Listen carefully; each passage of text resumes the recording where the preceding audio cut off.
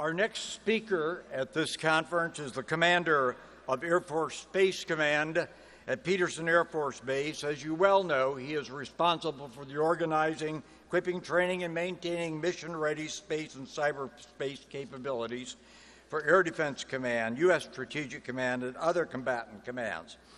Uh, General Hyten is a Harvard grad, and uh, if any of you have not been able to see his 60 minute CBS interview, you need to go look at that. He did a phenomenal job.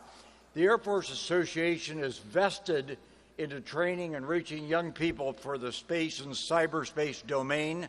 You all know about Cyber Patriots. We're just beginning now a program for high schoolers in space called Cyber Patriot.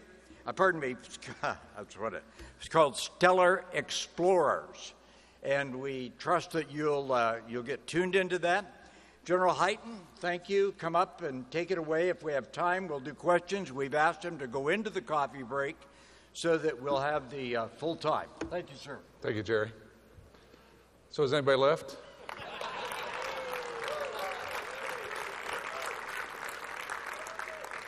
You know, when I, I've been to more than one of these over the years, and uh, I've seen General Welsh give more than one of those over the years, and the good news is I've stopped crying.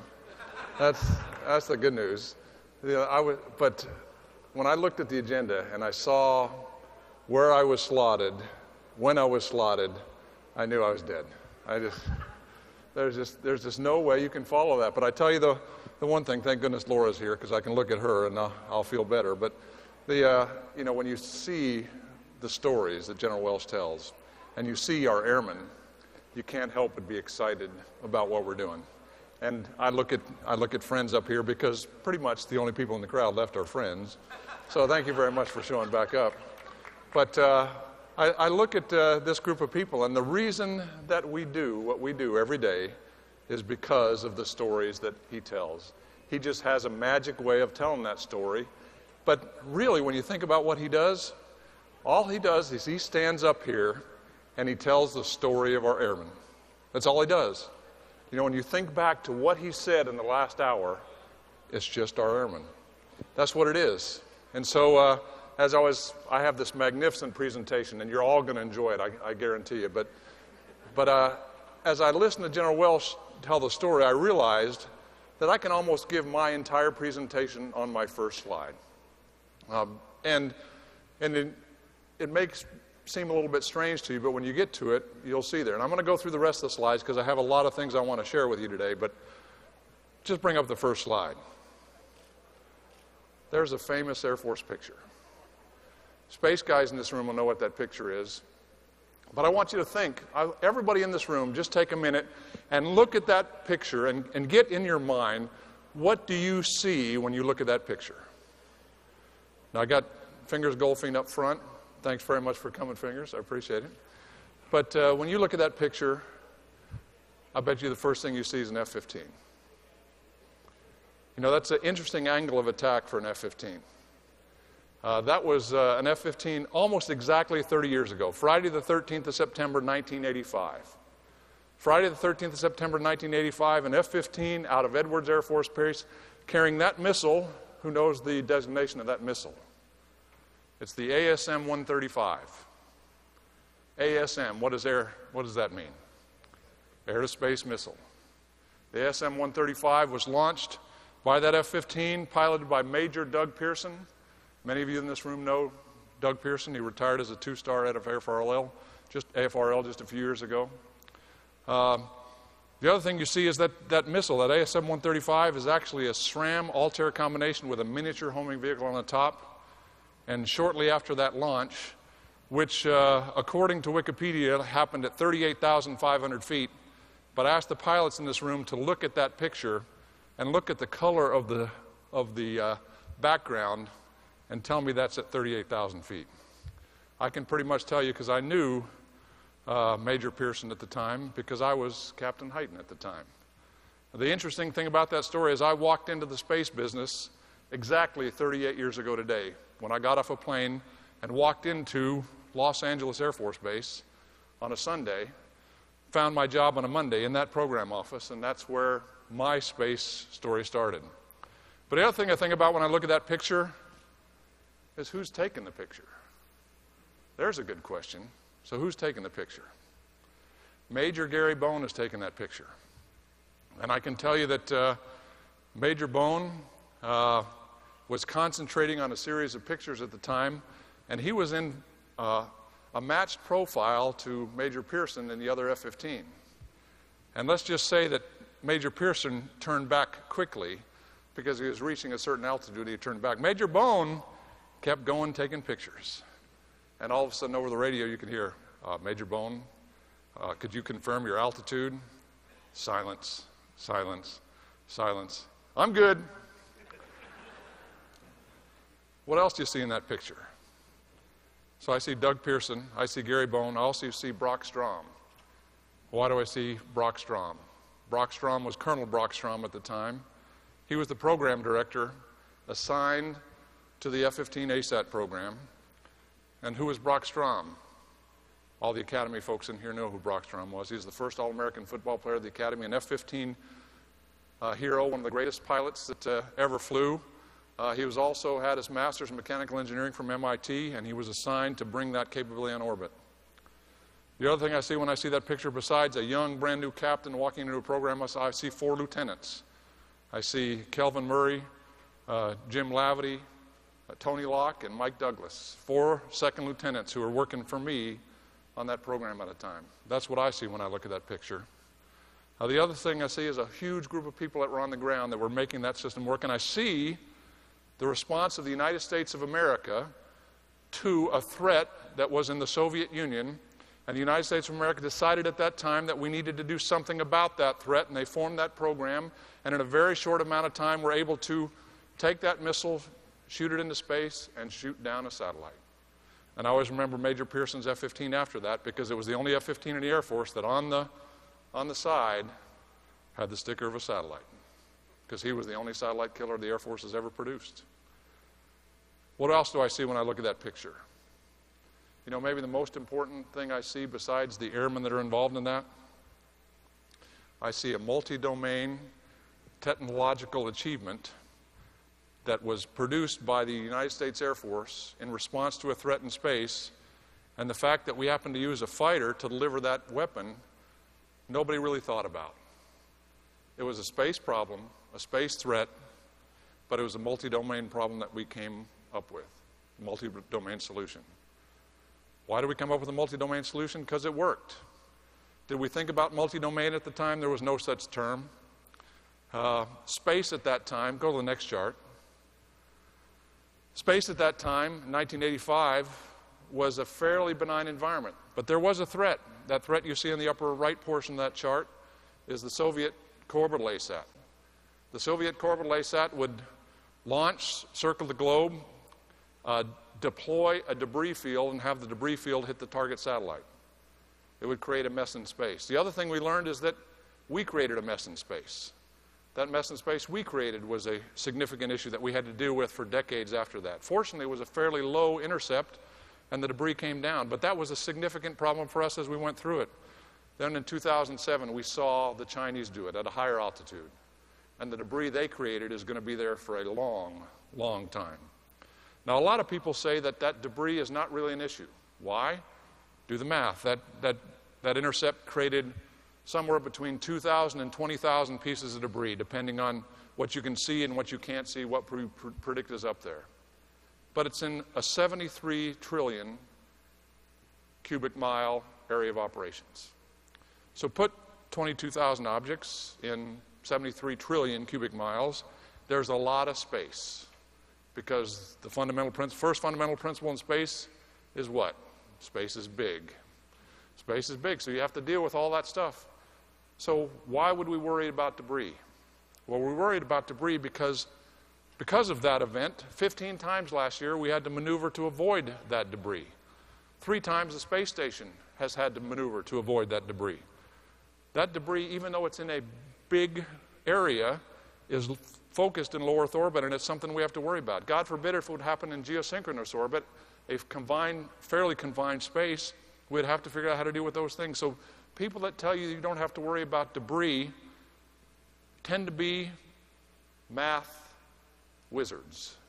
And the math wizards stand up and they tell you, do the math. Space is big. It's, it's, uh, and they did the math on the Iridium Cosmos collision that happened in 2009. And the, the odds of the singular event for that Iridium Cosmos collision was literally one in a million that would happen. That's one in a million every orbit. But do the number of satellites we have, number of orbits. Num- when you were done with the entire math equation, the odds of that collision were 3 in 10. The odds of the collision were 3 in 10. That's why we maneuver each time so we don't have that event. Because if we start down that path, that puts us in a place we don't want to be. That's a threat situation we have to figure out how to deal with. So if you go back to 1985 and the United States Air Force was faced with a threat, we knew what that threat was. We had to figure out what to do. We figured out what to do and we responded to it effectively. It created debris. Now we have a threat in 2007 that appeared. We have to figure out how to respond to that, how to defend ourselves, and we have to do it in a way that does not create debris. It's really that simple and that straightforward. But now in 2015, we also find ourselves facing a cyber threat. And the cyber threat is significant. And we have to make sure that not only our space networks and our ground networks and all our networks are focused on that problem, but we have to figure out how to deal with the cyber threat that comes through and is attacking us today. And the good thing about having space and cyberspace in one command is we can actually integrate the capabilities of space and cyber and figure out how we're putting those pieces together. That's what we're trying to do. Next chart. So you've heard me talk about multi-domain op, uh, operations with the F-15. That was a fairly simple issue. The, the space environment at that time, in fact, I'll have a chart later to show you what the space environment was at the time. There really wasn't a lot of space capabilities up in either the Soviet Union or the United States. And those were the only two spacefaring nations. But it was significant enough from a nuclear uh, perspective that we had to respond to that effectively. And we did it with a multi domain solution. Today, we put charts like this up. Uh, we do it, General Carlisle does it. We all use these charts to explain multi domain operation. And what is the technique that we use to explain multi domain operations? It's lines and squiggles and connections. And, and why do we do that? The reason we do that is that's the key piece of the puzzle. And if you didn't do that, you wouldn't see it because it's invisible.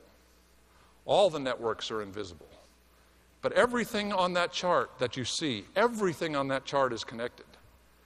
For that to work, for that system to work, for the United States Air Force to work, everything has to work together. And one of the most exciting things going on right now in our Air Force is, uh, is a developmental planning effort that's, that was started by Air Combat Command. That's now being led by uh, a colonel in the Air Staff who's looking at air superiority 2030 uh, from, a, from a full multi domain solution. And I saw the briefing the other day. General Carlisle is pushing hard on that. And the amazing thing about the air superiority problem in 2030 is there has, for it to be able to be effective, we have to have an integrated capability of air, space, and cyber that is seamless in that operation. And oh, by the way, 2030 is only 15 years away. And today, if you look at the way we do business, and I'll show you some of those pieces, we are not very good at multi domain operations. One of the biggest changes that happened last year, last year at the C2 Summit, uh, when all the four stars got together except the chief and the vice chief, and we got together and we were talking, we made two fundamental decisions. You actually saw one of them in the chief's briefing that was, that was pretty significant. I was probably the only one in the audience that noticed it. That was, he talked about the global cyberspace operations center. A year ago, that was a functional operations center. Uh, we'd made a decision at the C2 summit that the leadership of this Air Force would no longer talk about functional op centers because the TACC, the Space Operations Center, the Cyber Operations Center are not functional. They're global operations centers that do critical missions. And for us to be effective as we go forward in the future, we have to figure out how to integrate our global operations center with our theater operations center. And they have to be integrated seamlessly, not just by phone, as most of them are today, but with data moving back and forth between the two. That's how we get at multi domain operations. That's how multi domain operations become the way that we think. And the second term we eliminated at that C2 summit was the term cross domain. And I'm very sensitive when I hear the term cross domain, and I will correct that language every time I see it. But the great part is, is that I heard General Gorenc correct that behavior uh, at a meeting as well when somebody stood up and said, Uh, I think it's a cross domain solution, and General Gorenc jumped all over him. If you've ever seen General Gorenc jump all over somebody, it's a pretty impressive thing to see. But he said it's not cross domain, it is a multi domain problem. Why is cross domain a bad word? The reason it's a bad word is that when you have a cross domain solution, what have we inherently done? That means we have an air problem, and somebody will say, Go ask the space guy if he can do anything about it, or go ask the cyber guy if he can do anything about it. Ladies and gentlemen, we are a United States Air Force. We're not a space force, we're not a cyber force. We are an Air Force, and that Air Force together integrates airspace and cyberspace. It's in our mission statement, for God's sakes. We fly, fight, and win in airspace and cyberspace, and the sooner we get to the point where we think about that as a continuing medium, the better we're going to be as we fight into the future. That's critical to think about.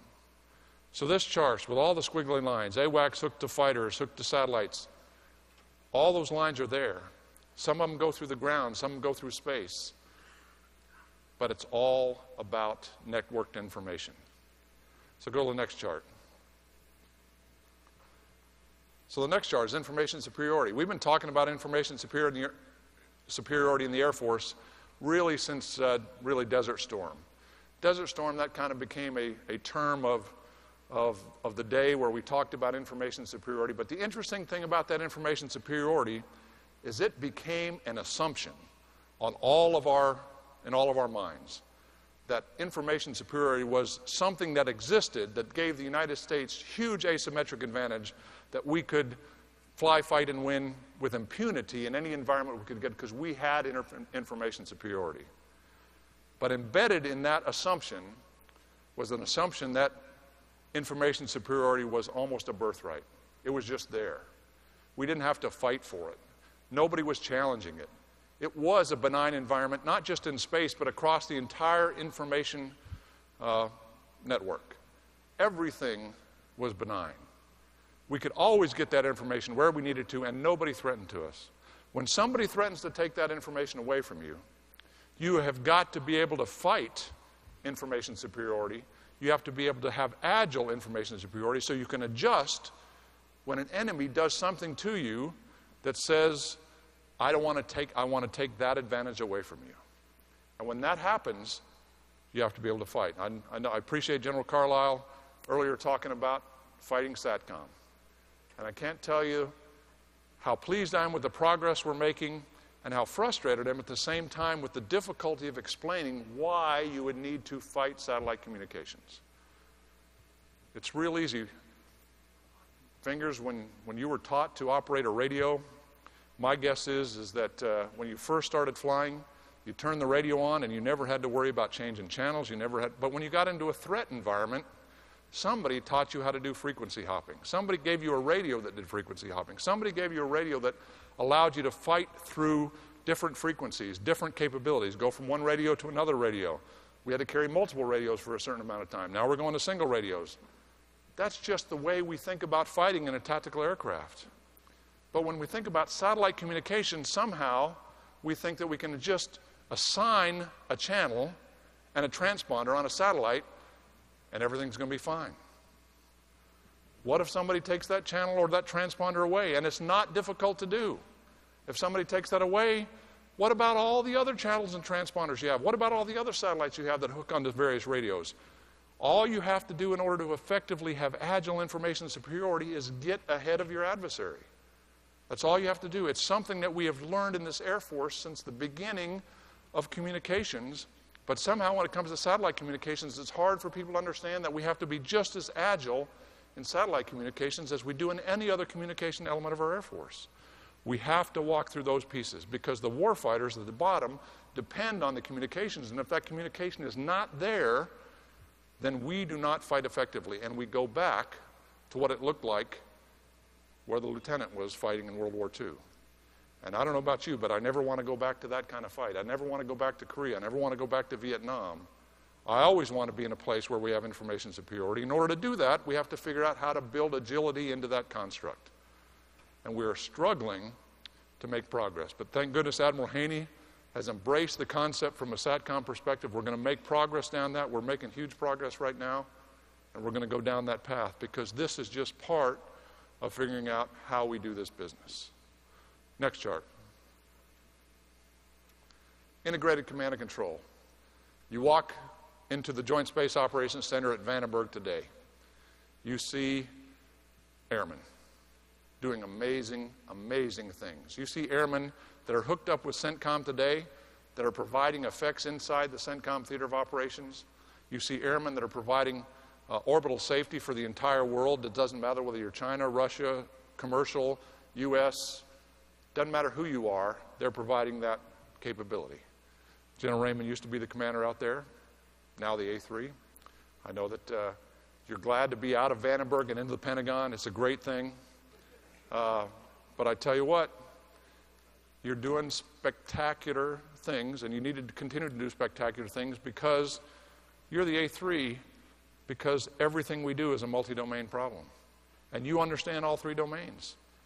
So, for gosh sakes, General Raymond, integrate those domains, push that out across the Air Force, and we're going to make huge progress.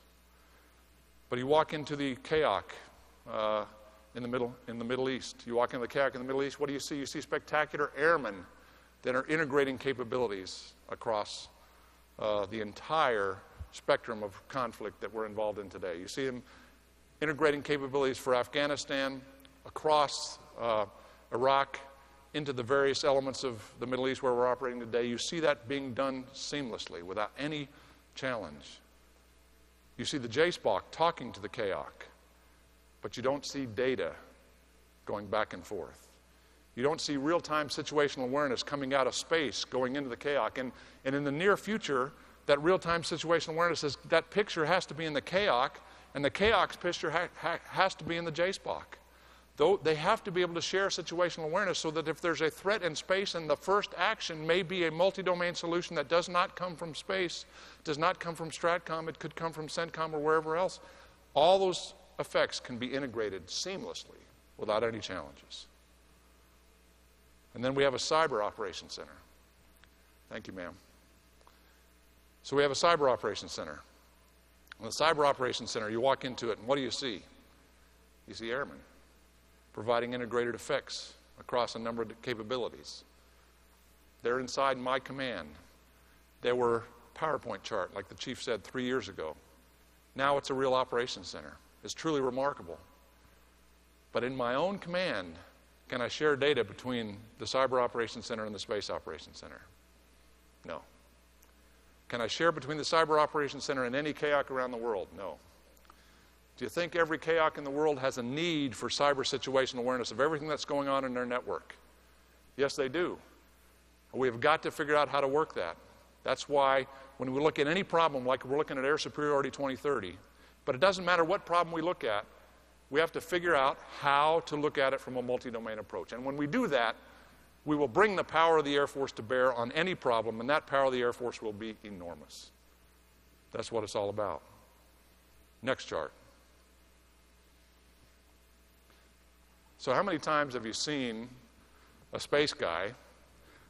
For you old guys, these are the charts that we used to bring to ACSC and stand up and explain to the rest of the world what space was.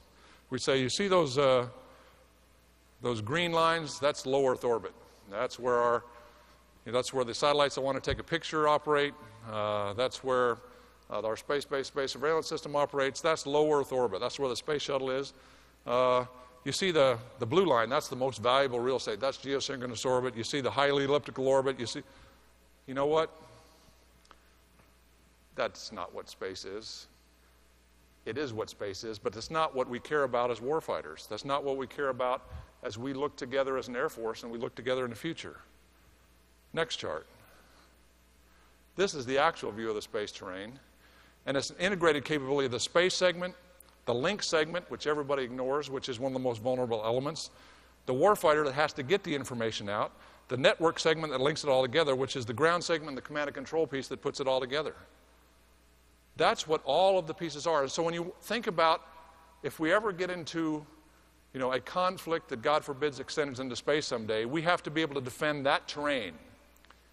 The terrain that was on the previous chart, the orbits, are a very small part of what we have to defend. We have to defend our ability to command and control. Right now, today, we really have just one primary command and control node. We could default to Dahlgren if we had to, But if we defaulted to Dahlgren, all we would have is situational awareness. We wouldn't have the ability to command and control anything. That's one of the reasons why we're going to build, uh, with the intelligence community, a joint integrated coalition space operations center to basically, for the next year, experiment on what we need to know to share that kind of information. Someday that could turn into a backup. We don't know exactly what the future is going to be, but we've sat down with the intelligence community leadership.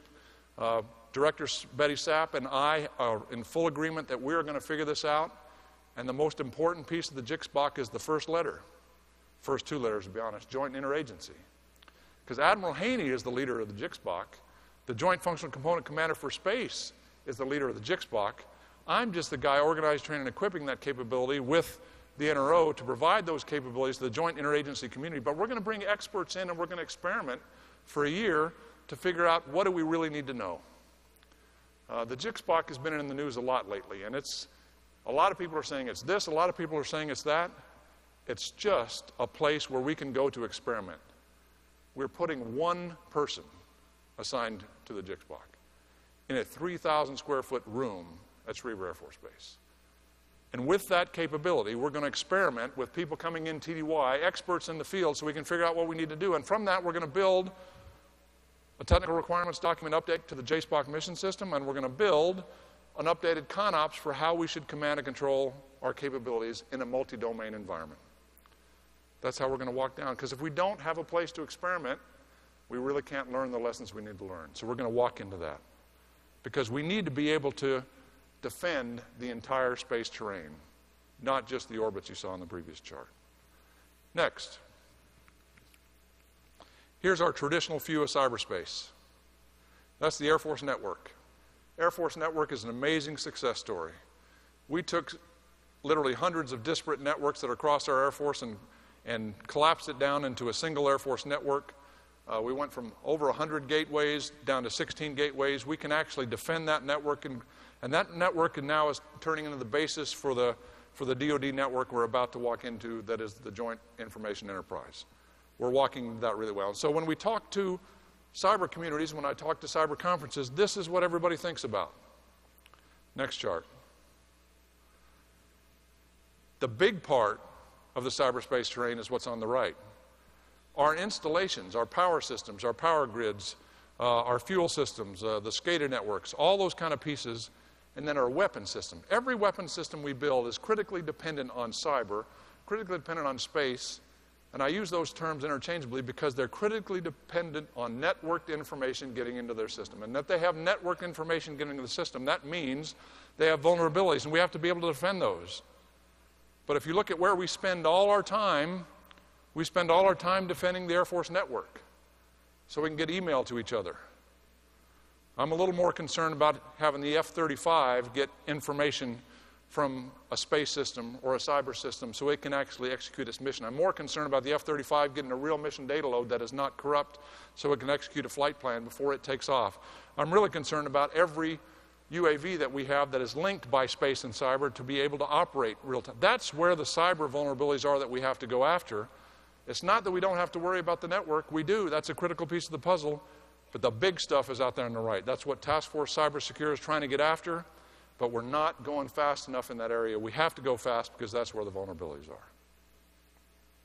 Next chart. So let's think about it. I talked about 1985 a while ago. What was there in 1985? You had DSCS satellites, you had DSP satellites, DMSP satellites. Those actually dates back to the 60s. All those satellites that you see there were classified when they were created. Nobody knew about them. Even into the 80s, you couldn't talk about a lot of the capabilities that were there. A weather satellite, for God's sakes, you couldn't even talk about what the weather satellite was doing. That, uh, that radar that you see there, it's an early BMEWS test site at, at Griffiss Air Force Base, New York. Then you see a VAX 11780.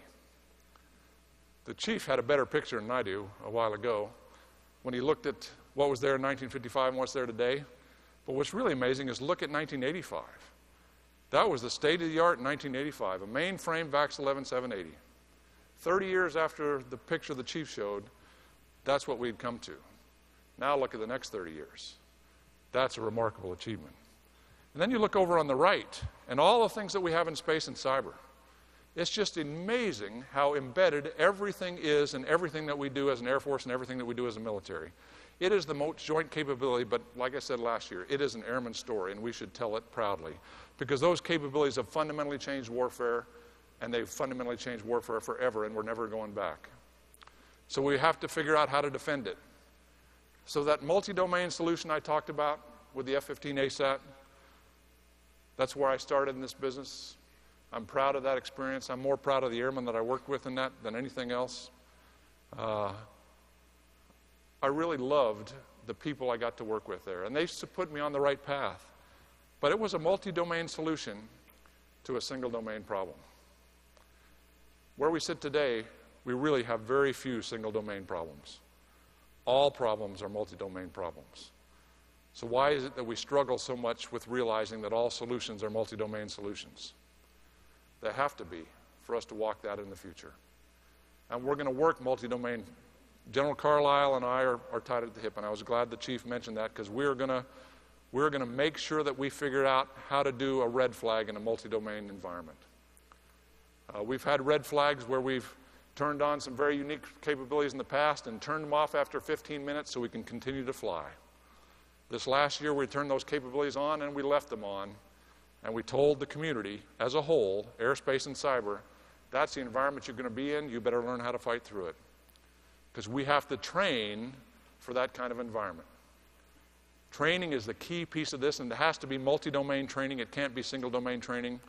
We're going to walk into changing how we do that in the space business. We're going to build a space mission force where our best operators stay on crew for multiple years. We're going to have experts there, and we're going to train in an integrated, multi domain, high end environment. And that's how we're going to move into the future. Because every problem that we have is a multi domain problem. And we're an Air Force. The strength of our Air Force is our airmen, powered by airmen, fueled by innovation. That's who we are, and that's what we do. And this problem demands airmen. It demands innovation from everybody that's in this room, and we have to walk into that. It really is an exciting time to be an airman. One of the blessings of this world is to get up every morning still after 34 plus years and to be able to put on a uniform and go to work. And the best part about it is that uh, when I get to spend time with young airmen and you see what our young airmen do, you realize uh, we're really not that smart. Because they are. Because you look at the people the chief introduced a while ago. Holy cow. If we would just, half the time, just give them the tools and get out of the way, they'll figure it out. But we put so many barriers, so many barriers in the acquisition process, so many barriers in our, in our traditional status quo. We put so many things in place that we can't seem to get there. But that's what Air Force Space Command is trying to do in conjunction with the other MAJCOMs, in conjunction with a joint partner, as a component MAJCOM to Strategic Command, in line with our functional component for space, in line with our cyber capabilities, working with Admiral Rogers and Admiral Haney. That's where we're trying to walk into. And we're making enormous progress and an exciting time. And I ask for your help as we walk into that. Because everybody in this room is part of the solution to that problem. So I thank you very much for your time, especially after the chief. Thanks for a few more people coming back in. Uh, I know uh, that uh, meeting Airman Spencer was way more interesting than meeting me, but I thank you for your time and hope you got something from my message. I'll take some questions. Thank you. Thank you. I I think that many didn't bring up a bunch of questions because of our time, but I do have one, one or two that I'd like to pose to you, uh, General Hyten. What do you think right now is our greatest threat to U.S. space superiority? Uh, so, our greatest threat to U.S. space superiority is uh, um, I'll, I'll, phrase it this way uh, our greatest threat to our own space superiority is, is our inability to do what we need to. Um, it's not the threats that are out there. The threats that are out there are they're, they're real. But in every domain that we've ever operated in, we've faced threats. Um, I never want to go to war in space. Nobody in this room should ever want to go to war in space. It's a bad thing. But if conflict ever does extend into space, we'll face threats and we'll figure out how to deal with them. We just have to get past our own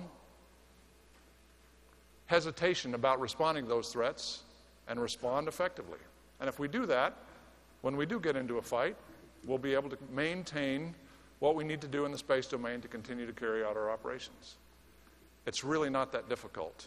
And so I don't like to point at threats as the problem because I guarantee you that every aviator in this room did not grow up expecting they would face no threats in their environment. That's just part of being in the military. How do you deal with a threat? You deal with a threat the way Airman Spencer did. You see it, you take it on, you defeat it, and then you move on. All the way from the most basic human act the most complicated thing, military operations is that simple. But somehow we make it very, very complicated in space and cyber. And we've got to get to a place where we just look at them as other operational domains that we use and operate, and we just move forward. It's not that hard. Good. One last question. Um, at the Air Force Academy football games, at graduation, we have flybys of all those aircraft. And it really makes people aware and it thrills them and, you know, gives them goosebumps. How do we get goosebumps for space, both in the public awareness as well as in the awareness of our high school students come up, coming up and our own Air Force? So, so that's a setup question, Jerry. so, so you, you, you gave a commercial at the beginning. Now you want me to give the commercial Right. at the end, which I will because it's, it's a valid point. So, uh, you know, Cyber Patriot is a big thing that the Air Force Association and others have, have built. Uh, Cyber Patriot is an amazing thing because it gets high school students, college students engaged in, in cyberspace. Um, my high school is Grissom High School in Huntsville, Alabama. Uh, there's a student there named James Brom. Uh, James Brom, uh, he's a pretty smart guy. He maxed his SAT as a sophomore in high school. Uh, he won, his team won Cyber Patriot last year, and, and I got to talk to him a few times and act as a little bit of a mentor, and because he was looking at MIT or the Air Force Academy. Where do I want to go? But the Cyber Patriot experience, and maybe a little, and you got to realize I was in Detachment 365 at MIT. That's, that's where I was. You know, so I told him the good parts about MIT as well, but he made a decision to come to the Air Force Academy. Pretty exciting to have a cadet like that coming into the Air Force. We need to be able to do the same thing for space. And so the, the whole concept the AFA is trying to push right now, what's it called? Spectral Stellar, Stellar Explorers. Stellar Explorer, is to get after that same kind of excitement. And the amazing thing about space is if you want to get excited about space, watch a launch. If you want to get excited about air power, watch an airplane. It's the same thing. You can't see a satellite, though. Well, actually, if you walk to Schriever Air Force Base today and you see certain capabilities, I'll just say not only do you see the operators, but we can see satellites today. And uh, someday it'll be classified at a level where most people can see it. But if you look at the capabilities of the GSAP, the global, uh, the Geosynchronous Space Situational Awareness Program, FIS, we can see satellites fly now too. It's pretty amazing the things that we can do in this Air Force. And I appreciate the AFA pushing that back out so we can get young people involved. Because I tell you what, where I got excited was my dad worked on the Saturn V. And I got to see the F 1 engine in test. And I got to see the Saturn V on the ramp at Cape Canaveral. And I got to watch that work being done. And that's where I developed a passion for it. And we have to engage our youth again to do that. And that's what the program is doing. So, Well, Jerry, growing up in much. Huntsville didn't hurt you. Growing up in Huntsville didn't hurt me. I got to meet Von Braun. I got to meet some pretty amazing people. But you know why I got to meet Von Braun? Because I was already excited about science. And so the kids in Chaffee Elementary School and Chaffee Elementary School up, the, the Beth Masson science students got picked to go meet Werner von Braun. And I was one of those because I was excited. And then I really got excited. And it's amazing how a little bit of passion and excitement can carry you a long way in this world. That's right. Well, uh, General Hyten, thank you very much. Uh, want to give you a book, Mission to Berlin by Robert Dorr. I've heard about that. It's a uh, great book. And uh, personally signed by Mr. Dorr. Thank All you right. very, very much. Thank you, Jerry. Thank you a lot. I See you in a appreciate it.